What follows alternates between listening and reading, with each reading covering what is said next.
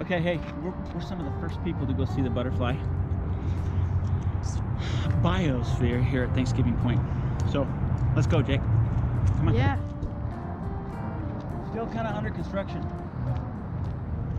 I don't know what species they're going to have, but I imagine they're going to have monarchs.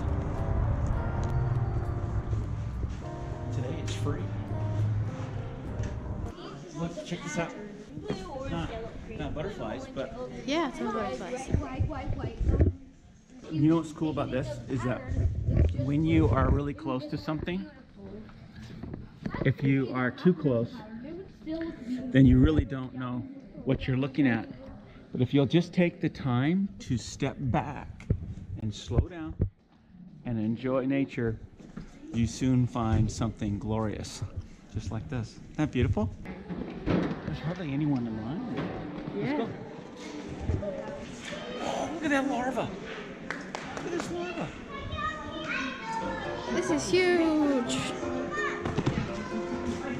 This is a giant I think I left my phone in my jacket. larva. I'll be right back. Okay. Wow.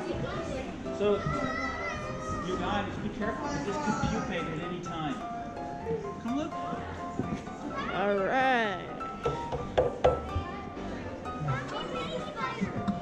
Look at this. I've always wanted to be inside a pupa. There we go. Can you That's it. fit? That's all I can do. Spider inside the pupa? okay, so you've been in there for a while, and now you're ready to emerge as a beautiful butterfly. Wiggle, wiggle Takes a little bit of effort, and then, ta-da! Check out those scales, Jake. Texture on these. Mm-hmm. Lepidoptera. Very nice.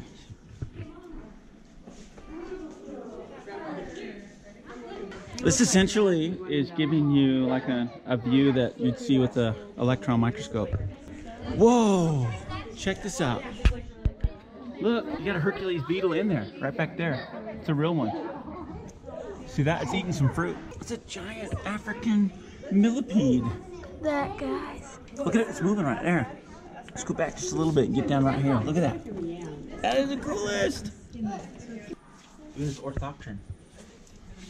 It's a katydid. And it's it's moving its wings, making its little chirping noises. But we can't hear it because it's inside, but that is neat, huh?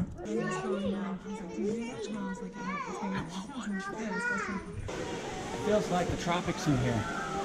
I mean, seriously, it's warm and humid because that's where they that's where they live, right? Naturally, these live in the tropics.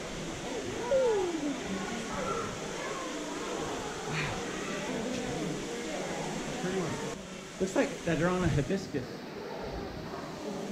Yeah.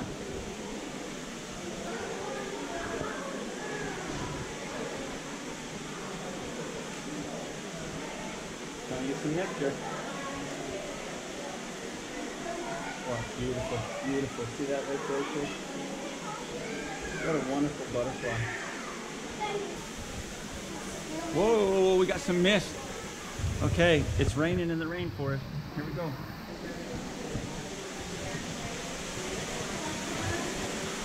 They're coming right by us, Jake.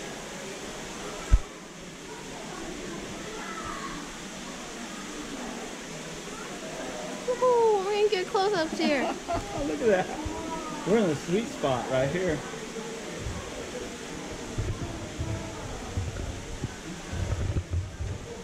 Pretty, that's for sure.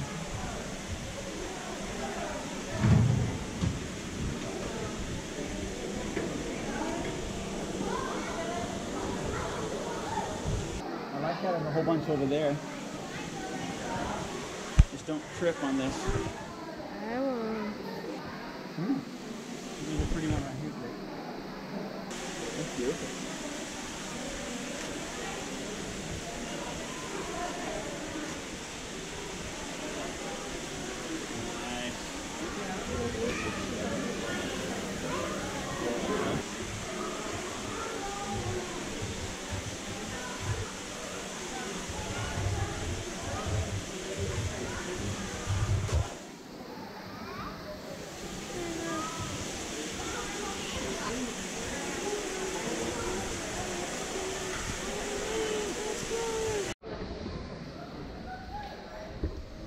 So, how many species do you guys work with? Um, we've gotten a total of 76 species, like novel species, but most Wow. years it's about 60. Man, that's wonderful. You guys are doing a incredible job here. Yeah. So um, every week we get about a thousand butterflies shipped to us in the form of the chrysalis, uh, which is the phase where they are going through a metamorphosis, changing from caterpillar into a butterfly. Um, about 75% of the species come from uh, small farms in Costa Rica, and then the other 25% are coming from um, small farms in Asia and Africa through a different supplier. Um, so we're getting our shipments on Thursdays and Fridays. If you ever want to see us, you know, actually gluing them up to the wood rods. Um, and I'd say we release between 100 and 200 butterflies every day. Wow, that's a lot. Yeah. Yeah, so hopefully in the conservatory, um, there's anywhere between 800 and 1200 butterflies flying around it at any point. Um, we've gotten about 75 unique species so far, um, but most weeks we get about 60 species shipped to us. So the, the majority of those are the blue morphos, which are these green ones on the top, as well as the owl butterflies. We get three species of owl butterflies, and that's going to be these really large chrysalises, the caligos. Uh, and then basically whatever else they have in stock, they just fill the remainder of our shipment with whatever other species they have. Um, so everybody on these top sections were shipped in on Thursday and Friday of this week.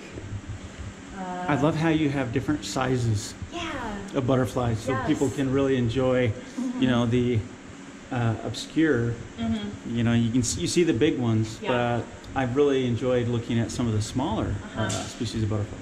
Yeah, I think our smaller species are gonna be the glasswings, and that's the Greta uh, otos. So those are the tiniest. I don't know if you can see those. They look like a little drop of Uh-huh. they glass. are just or gold. beautiful. So I think that's the tiniest Oh. species that we get. Definitely have to create a different environment. Yes. It's not like you could just use air from the outside. Yeah, so these are um, at 80% humidity. So we've got a fogger running underneath. It's on a heat and humidity thermostat. Um, so anytime it drops, you know, like two units below what it's supposed to be at, it kicks in. Um, it starts to heat up or, or start up the humidity. Because again, they're tropical species, so we are keeping it at a tropical setting.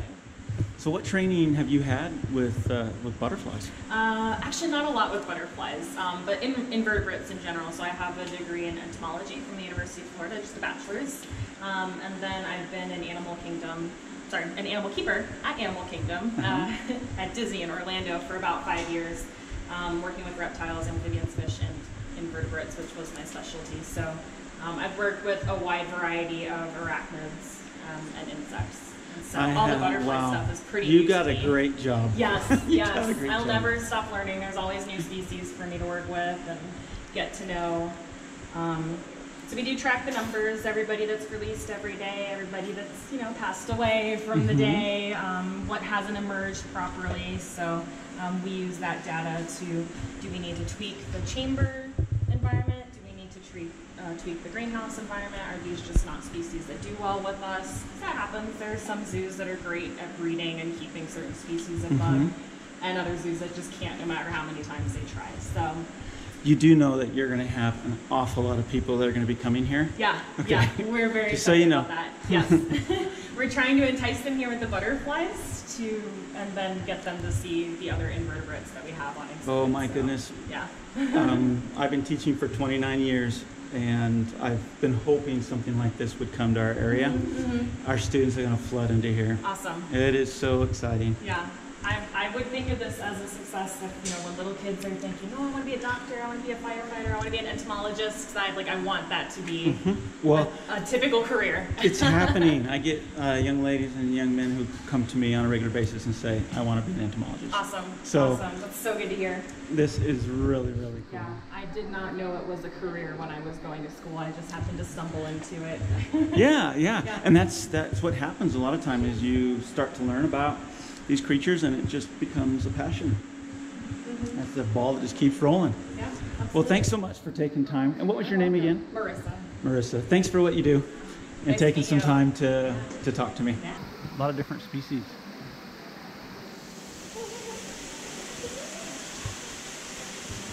Very calming. Something about Lepidopterus that everyone can relate to.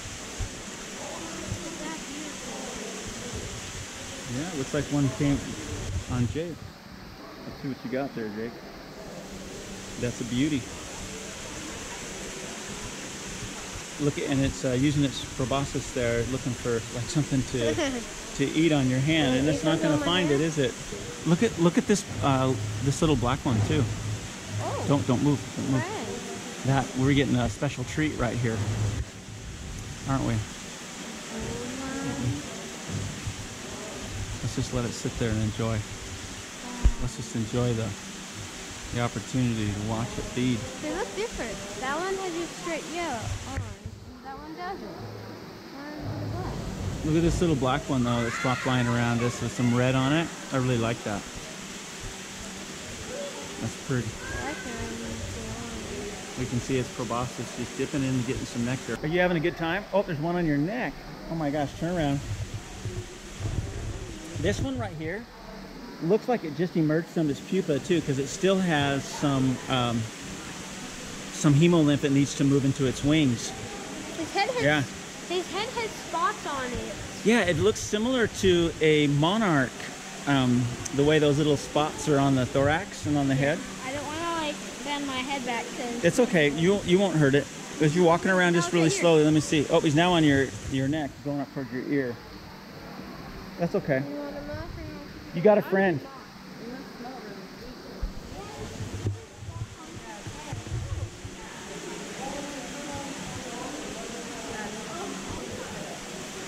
Oh, look at Ollie. Don't move, Ollie. Oh, they really were on you for a sec there, bud. Wow, we got a lot flying right through here right now. Look at that.